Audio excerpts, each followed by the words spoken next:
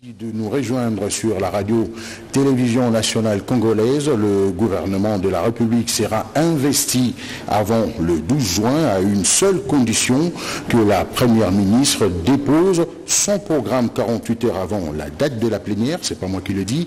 C'est le président de l'Assemblée nationale, Vital Caméré. Il a pris langue ce lundi avec le président de la République.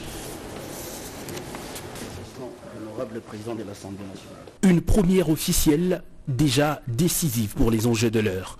Récemment investi à la tête du bureau définitif de l'Assemblée nationale, Vital Caméré a été reçu le lundi par le président de la République, Félix Antoine Tshisekedi.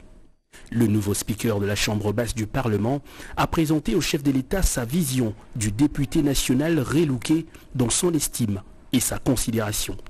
Sans surprise, la question de l'investiture du gouvernement est largement revenue au cours de leur entretien. Face à la caméra, Vital Caméré ne balbutie pas, le gouvernement sera bien investi avant le 12 juin prochain.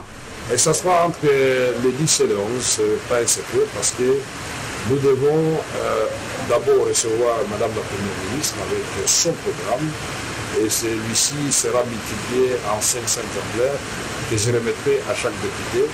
Et selon les règlements de l'intérieur, chaque député devra euh, s'en imprégner pendant 48 heures. Donc je ne sais pas faire autrement. Donc Madame la Première ministre, qui nous suit à ce moment, si elle veut être euh, investie le, le 10, Reconnaissant le mécontentement affiché par certains chefs des regroupements politiques de l'Union sacrée après la sortie du gouvernement, le président de l'Assemblée nationale en appelle à la rétenue et à la priorisation de l'intérêt général. Il avait lui aussi été investi il y a peu comme président du bureau provisoire du Sénat et le demeure malgré l'élection d'un nouveau doyen, règle constitutionnelle oblige.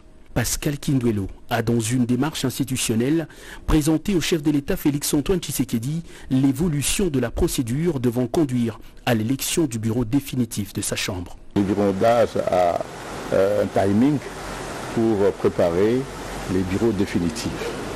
Et là, nous sommes satisfaits parce que mes collègues sénateurs et moi-même, et nous, sommes réellement euh, dans le, le bon dans le sens que d'ici 10-15 euh, jours, et les bureaux d'âge aura terminé sa mission qui lui est confiée par euh, la Constitution et les règlements d'âge. Ce n'est donc plus qu'une question de jours pour que toutes les grandes institutions du pays soient légalement investies. Et puis la question relative à l'investiture du gouvernement a également fait l'objet d'échanges entre le président de la Chambre basse du Parlement et une délégation du Pacte pour un nouveau Congo. On regarde.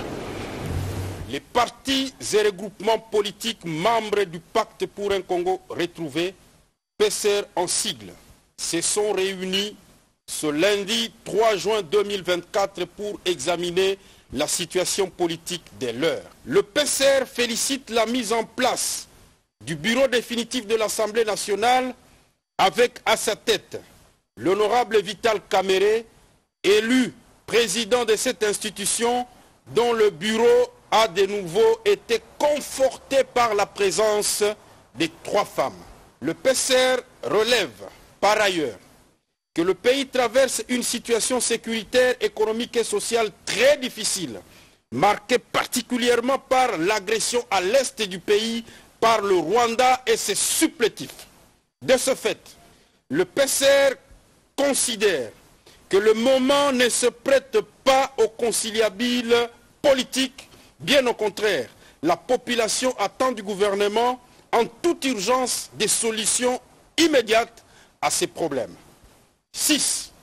Fort de tous ces arguments, le PCR trouve urgent de procéder à l'investiture du gouvernement afin de lui permettre de trouver des réponses aux problèmes soulevés par la population, pris instamment le bureau de l'Assemblée nationale à convoquer la plénière consacrée au débat sur les programmes du gouvernement afin de recevoir les contributions des élus légitimes du peuple congolais.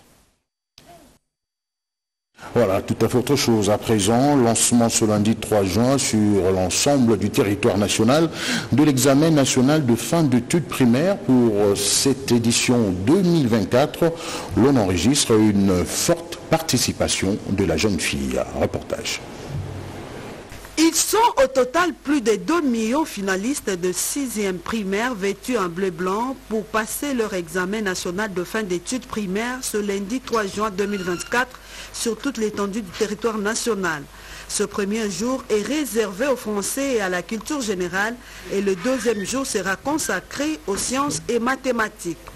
Le ministre provincial de l'éducation de 26 provinces de la République sont invités à lancer l'ouverture de ces épreuves de l'ENAFEP qui certifie la fin du cycle primaire édition 2024. À Kinshasa, l'effectif est de 227 479 finalistes, dont 51% de filles et 49 garçons. L'ego a été donné par le ministre provincial de l'Éducation Charles Mboutamutu à l'Institut Mama Sifa dans la commune de Lancélé avant d'aller dans les quatre autres provinces éducationnelles de Kinshasa pour encourager les candidats finalistes du primaire. La gratuité au niveau primaire, euh, elle est irréversible elle est irréversible, c'est la tolérance zéro. Nous travaillons pour que tous les enfants accèdent et participent gratuitement à ces épreuves. Toutes les dispositions ont été prises, mais vous savez qu'il y a toujours des récalcitrants, mais nous sommes là, nos yeux sont ouverts pour essayer d'identifier les malfrats et afin qu'ils soient sanctionnés. Devant le directeur provincial de l'éducation, Plateau, Robert Kongi et les corps enseignants, le ministre provincial ville de Kinshasa a dans son mot insisté cette année sur le caractère gratuit de cet examen avec une bonne participation des filles à ces épreuves. Les macarons sont distribués gratuitement aux finalistes et ceux des centres de rattrapage. intoxication d'un groupe d'individus à l'Unilou, des allégations qualifiées de folles rumeurs par la population rencontrée par nos reporters de la RTNC au Katanga. Reportage. Les activités académiques et scientifiques se déroulent normalement bien à l'université de Lumbashi, les étudiants dans les auditoires, d'une part, la tenue des journées scientifiques, les soutenances des thèses de doctorat, d'autre part.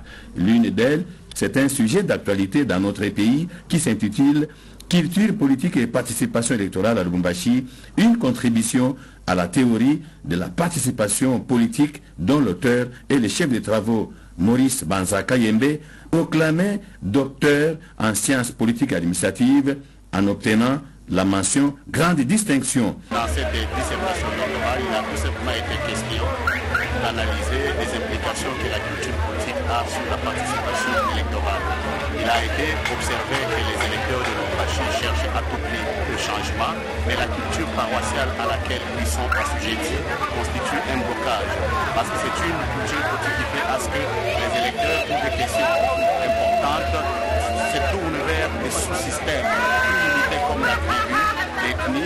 religion, tout comme la, la, région ou la province. C'est ainsi que nous avons estimé qu'il est nécessaire parce qu'on veut absolument le changement. Si il faut qu'on arrive au changement tant attendu, il faut les basculements se situer par rapport à la nation et même d'agir dans l'espace politique. Nous avons estimé que si il faut absolument qu'on arrive au changement. Direction la province des Litouries où certaines écoles ont procédé à l'inauguration de bâtiments nouvellement construits. La stabilité de la situation sécuritaire et la paix qui règne actuellement dans les territoires du Roumou a produit une fois de plus deux bâtiments scolaires modernes au standard international. Ceci fait la joie de parents et élèves du groupement de Macabo dans la chefferie de Basili, située à environ 20 km au sud de la ville de Bougna. Devant la notabilité, les membres du comité provincial de sécurité, les éducatifs ainsi que les élèves bénéficiaires de ces bijoux sortis d'une le directeur du programme de fonds pour la paix et la stabilisation, une coopération allemande a circonscrit le cadre de la cérémonie. C'est une grande première en Ituri et je crois que notre expérience comme première en est une positive et pourra porter des fruits pour l'avenir afin que les bailleurs de fonds, qui est le ministère allemand de la coopération, à travers la Banque allemande de développement qui est la KfW, puissent être attirés davantage et pouvoir intervenir encore en Ituri. Lorsque nous avions commencé ce programme, personne ne pensait que nous allions le terminer. Et voilà, une année, jour après jour, tous les ouvrages sont bâtis. Et aujourd'hui, nous avons l'insigne honneur de recevoir le premier citoyen de la province de l'Itourie pour pouvoir remettre officiellement les clés. Reconnu pour son attachement à l'éducation, le commandant des opérations et gouverneur militaire, le lieutenant général Bouyanka Chomadjoun, a exhorté les uns et les autres à l'éducation sur la paix, en vue d'assurer un avenir radis à ses enfants de l'Itourie. Là où il y avait des véhicules incendiés, là où il y avait des groupes armés qui ne faisaient que créer la mort, aujourd'hui, vous pouvez voir des très belles constructions jaillir de la terre. Et ce n'est pas n'importe quelle construction. Ce sont des écoles, des écoles pour nos enfants. Comme disait monsieur le prophète, là où on construit une école, on ferme une prison.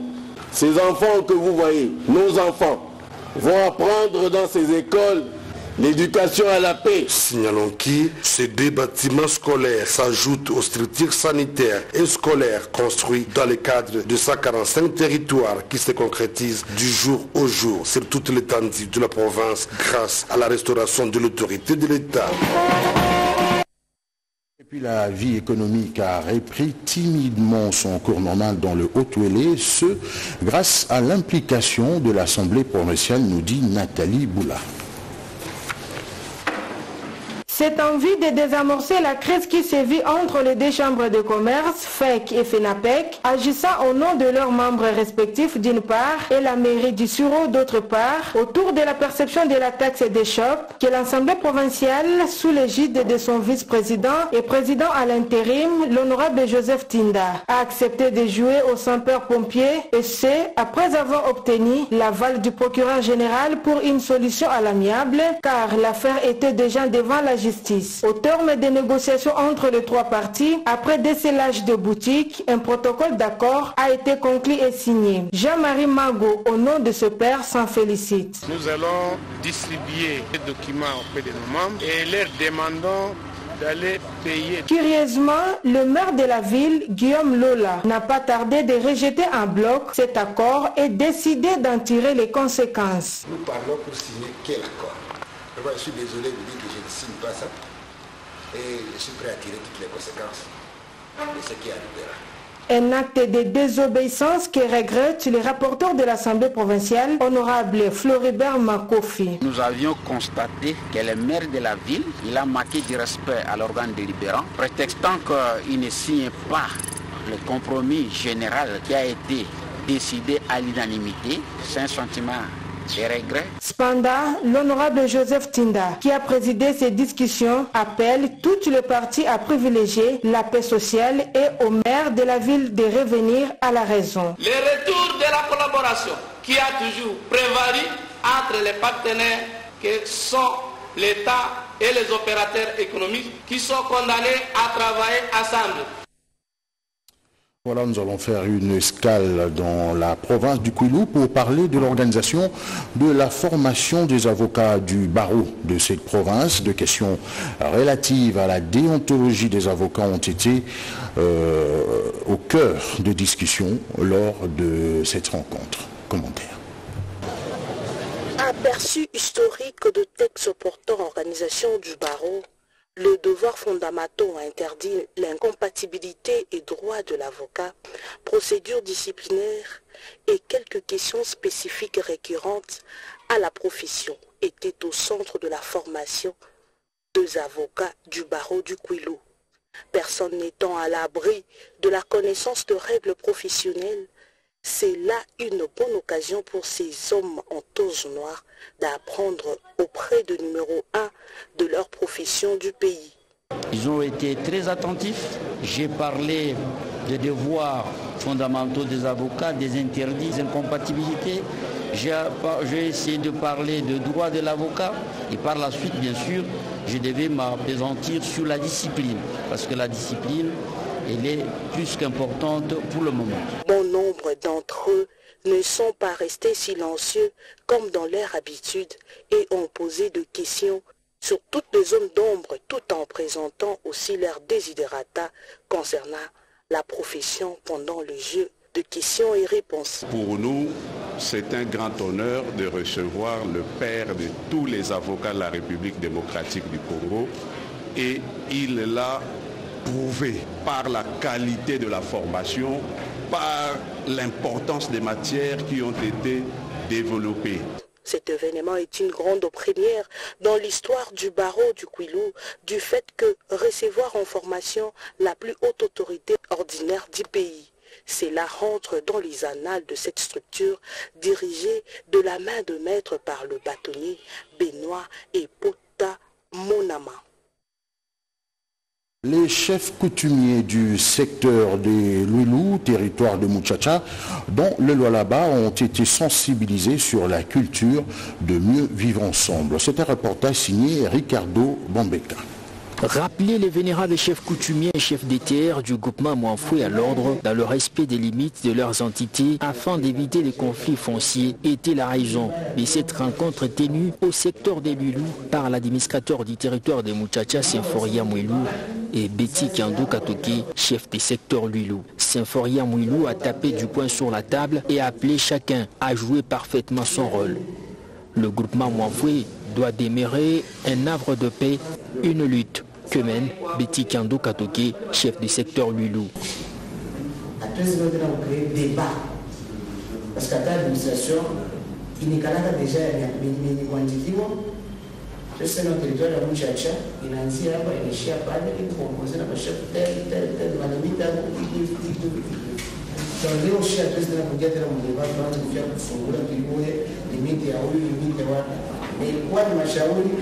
na tubebe mamezuri ile shebo ile tupashe kupatana, kwa sababu atatoka nje ya hili tunapatana chez sur le plan administratif.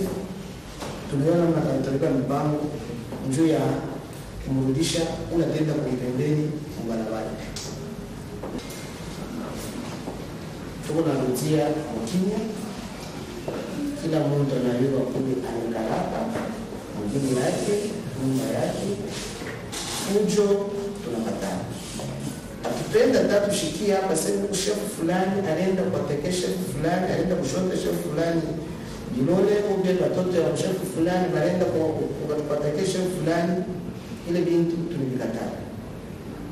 Betty Kando Katoki a signifié que un tête-à-tête sera organisé dans les jours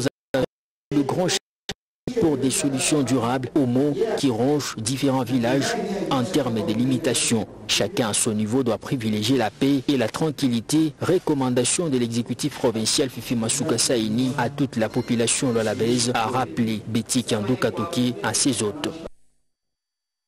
Tour à Kinshasa, après avoir sillonné quelques provinces pour vous parler du célèbre marché Epolo, eh bien, ce marché est menacé d'expoliation. Députés nationaux et provinciaux se sont rendus sur le lieu, histoire de s'imprégner de la situation. Subdivisé en une dizaine de quartiers urbains et bourgades urbano-rurales, longeant la corniche du majestueux fleuve Congo, ainsi que des deux camps militaires, la commune de Barumbu dans la ville province Kinshasa connaît d'énormes difficultés capables de freiner les processus de son développement durable et intégral, parmi lesquels divers problèmes de société, la détérioration exponentielle des savoiries urbaines, l'insécurité croissante due à la délinquance juvénile, l'incendie des maisons de la cité Kitoko, le long de la voie ferrée avec d'énormes dégâts matériels, sans oublier la tentative d'expoliation par certains civiques et ennemis de la République d'une partie du marché Epolo, situé au croisement des avenues Kabambar, Itaga et Progrès, l'unique pool économico-financier que compte la municipalité de Barumbu. Ceci de ces deux dernières situations, l'élite provinciale de Barumbu, l'honorable Bob Amisoyo Kalumbila, accompagné d'une frange de la notabilité de ce coin de la capitale, a effectué une itinérance pour s'imprégner de faits. C'est de notre devoir en tant qu'élu d'être près de sa population. Nous avons fait appel au nouveau gouverneur entrant. Nous cesserons de marteler dessus. Pour... Natif de Barumbu et doté d'un altruisme social avéré, cet élu provincial s'est rendu dans la paroisse catholique Saint-Éloi au quartier Bonmarché, où il a remis au vicaire un important lot de sacs de ciment, matériel à même de booster les travaux de réhabilitation de modernisation d'agrandissement de la paroisse. Un geste salué par les vicaires. Une brève réunion avec les mamans, les papas et les jeunes de différents CVB de la paroisse Saint-Éloi a clôturé cette itinérance administrative de l'honorable Bob Amisoyo Kalumbila dans la commune de Barumbu. général de la RTNC, bon syndical, un tête-à-tête en vue de la guette tout malentendu concernant un prétendu détournement des détails dans ce reportage signé Anita Lomba. La préservation de la paix sociale dans toutes les entreprises publiques ou privées passe par un dialogue permanent et sincère entre le comité de gestion et l'ensemble du personnel. Ces principes de gestion ont été discutés entre le directeur général de la RTNC et le bon syndical. Pour ce faire, un atelier de formation pédagogique sera organisé par l'employeur d'ici le mois de juillet. Les résultats attendus amener les agents, cadres et les syndicalistes à un comportement plus responsable. Ça va vraiment permettre euh, que les délégués qui sont formés puissent euh, savoir euh, leur champ d'action et comment en tant qu'agents ils peuvent se comporter, comment en tant que délégués ils peuvent se comporter. Donc c'est vraiment une très bonne chose que l'employeur nous ait donné cette réponse favorable par rapport à la formation concernant les fausses allégations sur un prétendu détournement des salaires par le directeur général de la RTNC. Le malentendu a été dissipé.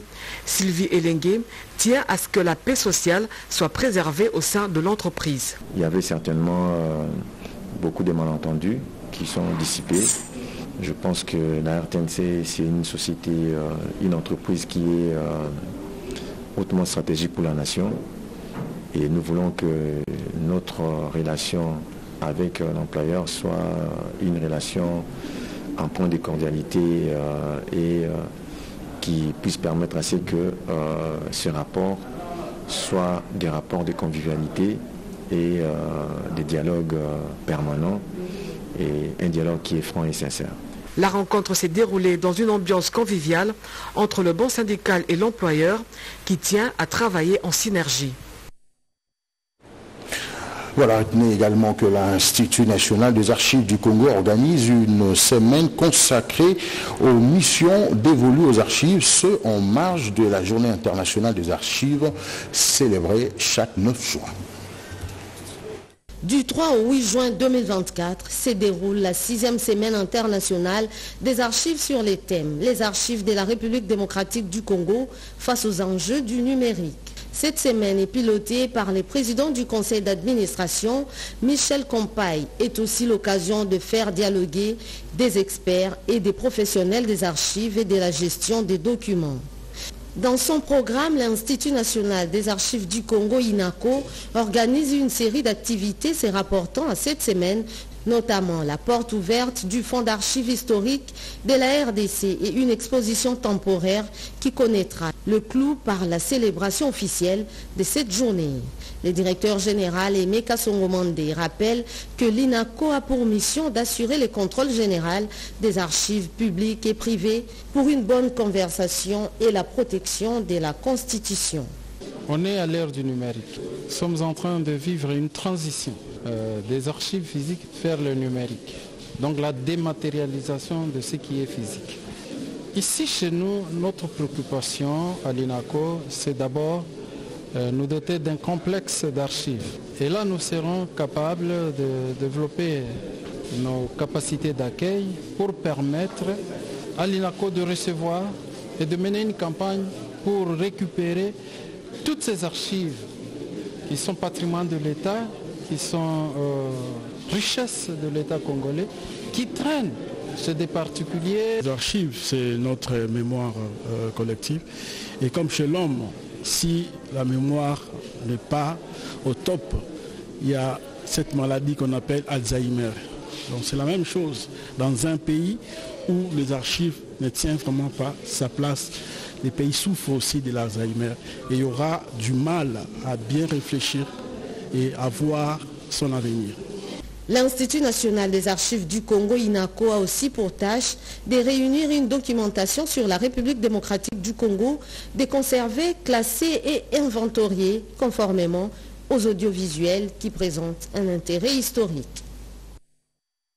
Séverine Pascal Katonda va nous parler à présent du groupe Site Solidarité créé par le docteur Michel Mouvoudi. Ce groupe, mesdames et messieurs, vient de totaliser 8 ans d'existence. Le développement de la RDC nécessite l'implication de tous, surtout le jeunes, dans une solidarité et devenir des solutions face aux défis de développement du pays. Pour y parvenir, une plateforme politique non confessionnelle et bénévole dénommée Compétences Intelligence Développement Expertise, CID en sigle, a vu le jour en 2016 sur la solidarité pour le développement du capital humain. Ce groupe de plus de 70 000 membres à travers le 26 provinces du pays et d'autres pays d'Afrique est un oasis, un écosystème de valeurs au-delà de l'intelligence stratégique où les membres sont appelés à développer la solidarité, l'altruisme, la bonne gouvernance et l'autoprise en charge.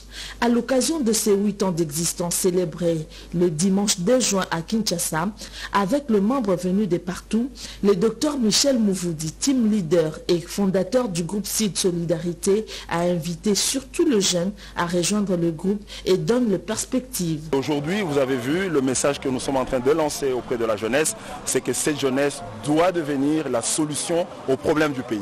Et je pense que chaque personne a une part, a une partition à jouer dans le développement de la République démocratique du Congo, mais aussi dans le développement de l'humanité. Et c'est comme ça que vous voyez cette prise en charge qui se fait de manière endogène. Et vous pouvez imaginer bien comment nous sommes en train d'avancer.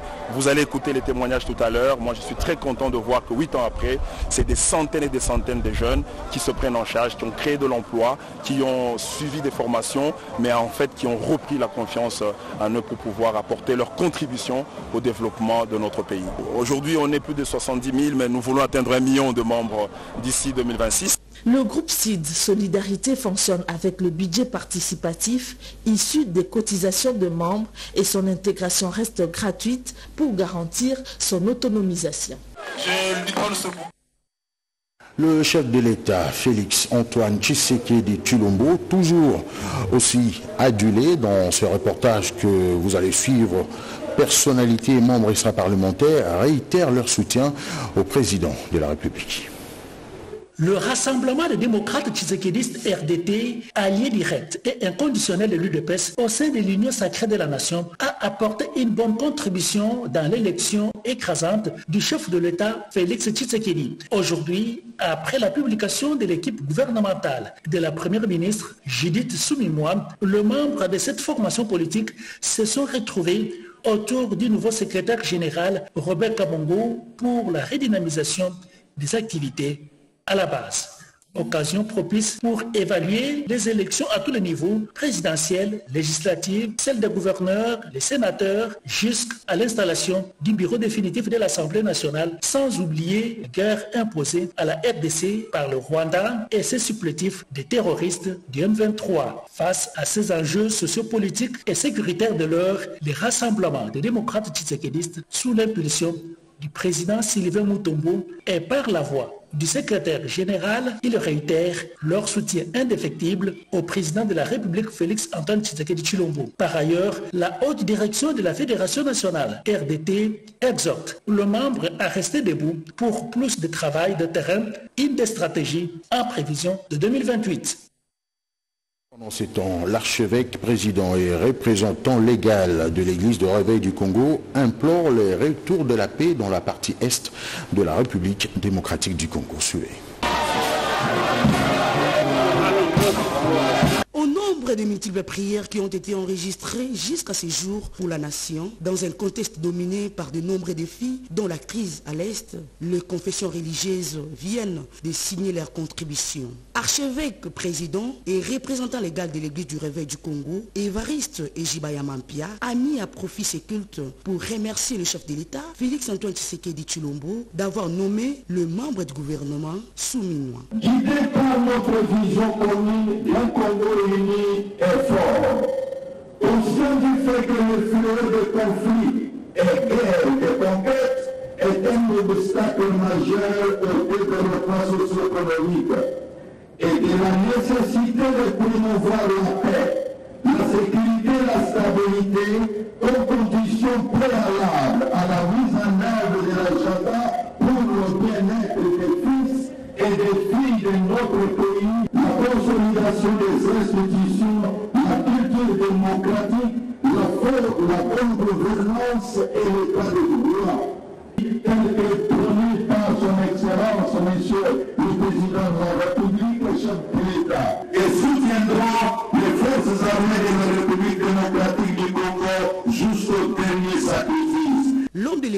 rappelé que tout pouvoir vient de Dieu, qui est le maître des temps et des circonstances.